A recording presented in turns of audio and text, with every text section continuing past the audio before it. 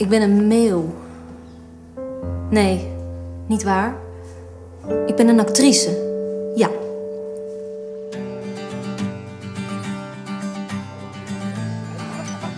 In de meeuw speel ik Nina, een eh, jong meisje dat heel graag actrice wil worden. De personages zijn heel menselijk. Maar het gaat altijd om een soort verlangen naar iets wat ze niet kunnen krijgen. Dus de mail gaat over de, eh, de teloorgang van ja, idealen die mensen in hun jeugd hebben. Ik denk dat het in deze versies heel humoristisch zal zijn en snel en brutaal. De leeuwen en de patrijzen. Al wat eens leefde, heeft zijn droevige kringloop volbracht en is niet meer. Het is een heel mooi stuk. We hebben een hele goede regisseur. We hebben hele goede acteurs. Ja, eigenlijk kan het alleen maar tegenvallen.